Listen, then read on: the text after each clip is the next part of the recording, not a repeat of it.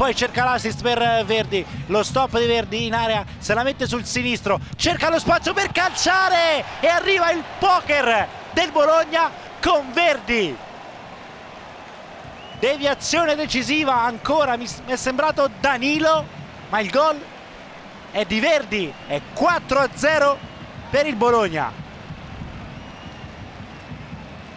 Al ventitreesimo punto esclamativo sulla vittoria.